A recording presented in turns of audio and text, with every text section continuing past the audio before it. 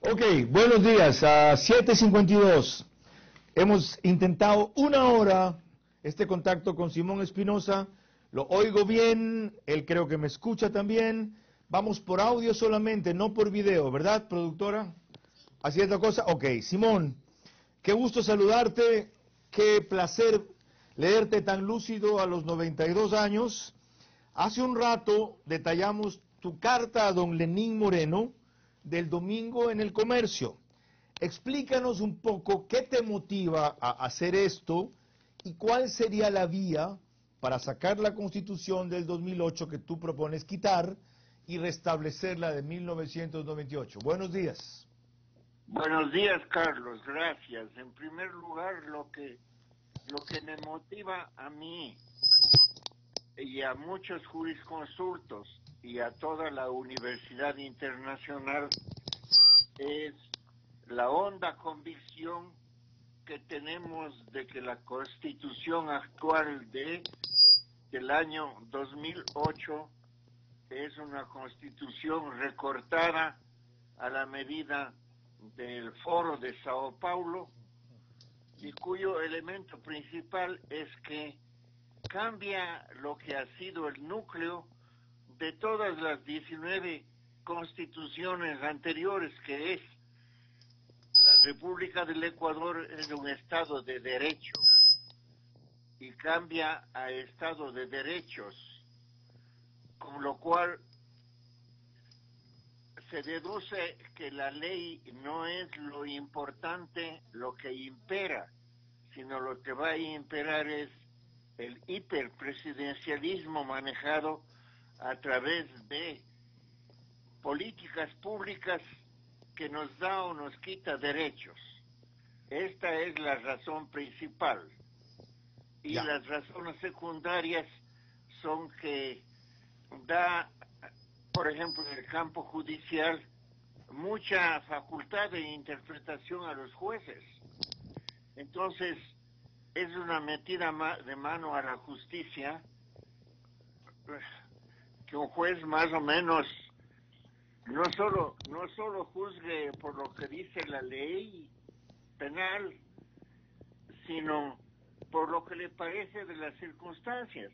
Ok, Simón. Carlos, Simón. Fíjate, Carlos, que el resultado es lo que vemos, pues. El aumento de la criminalidad, las mafias en el país, etcétera, y la gran corrupción. Ok, Simón, para eso tú planteas una consulta. Esa consulta la debería plantear el presidente para la primera vuelta o para la segunda vuelta. Es un referendo que el presidente puede hacer porque no se trata de una nueva constitución. El 444 de la actual constitución prohíbe hacer constituciones sin una asamblea constituyente. en cambio, hay un provisto al final, porque las las constituciones deben leerse de, atrás para adelante, en que dice que es potestad del, en que dice que la que con referendo, con referendo se puede hacer o deshacer lo que se ha hecho. Entonces, ese es lo principal. Ok. los tiempos podría ser en la primera o en la segunda, pero no se va a hacer ni en la primera ni en la segunda porque el presidente que tiene el poder de hacerlo no se va a, no se va a, a resolver a hacerlo. Entonces, nosotros estamos trabajando para que en el caso de un presidente em, capaz de entender y ver la utilidad de esto, pueda hacerlo más bien él desde la próxima presidencia y estoy pensando obviamente en Lazo. Ok, Simón, pero entonces, ¿por qué le diriges tú la carta a Lenín Moreno en el editorial del Domingo del Comercio?